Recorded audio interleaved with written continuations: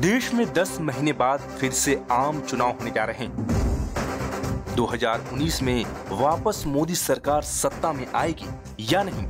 अगर आप कंफ्यूज्ड हैं तो थोड़ा ठहरिए। हमारी ये रिपोर्ट शायद आपके इस कंफ्यूजन को दूर कर देगा।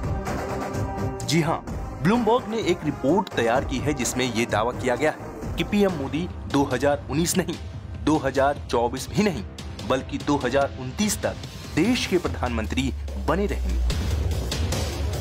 ब्लूमबर्ग ने पीएम मोदी, रूसी राष्ट्रपति व्लादिमीर पुतिन, अमेरिकी राष्ट्रपति डोनाल्ड ट्रंप, चीनी राष्ट्रपति शी जिनपिंग, नॉर्थ कोरियाई राष्ट्रपति किम जोंग उन और सऊदी अरब के किंग सहित लगभग 16 देशों के नेताओं के राजनीतिक कैरियर पर यह रिपोर्ट तैयार की है, जिसमें पीएम मोदी को जलवायु परिवर्तन गरीबी, आतंकवाद और अन्य वैश्विक स्तर की चुनौतियों से निपटने के लिए सबसे सक्षम नेता माना गया है। रिपोर्ट में यह भी माना गया है कि पीएम मोदी की लोकप्रियता पहले से ज़्यादा बढ़ी है।